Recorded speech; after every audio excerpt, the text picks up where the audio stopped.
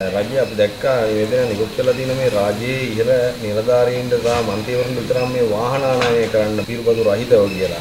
එතකොට මේ ජනතාවගෙන් තියෙන වාහන ආනයනය කිරීම බලාපොරොත්තු නැද්ද?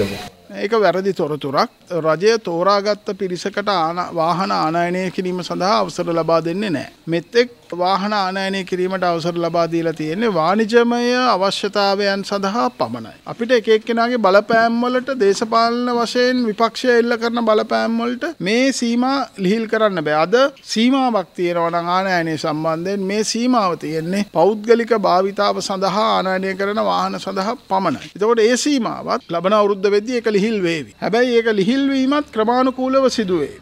මේ අතර ජපානයේ වාහන අපනයනකරුවන්ගේ සංගමේ සභාපති ජගත් රාමනායක මහතා පවසන්නේ වාහන ආනයනයට අවසර ලැබෙන දිනේ සිට වාහන මෙරටට ගෙන්වීමට සැලකියයුතු කාලයක් ගතවන බවයි.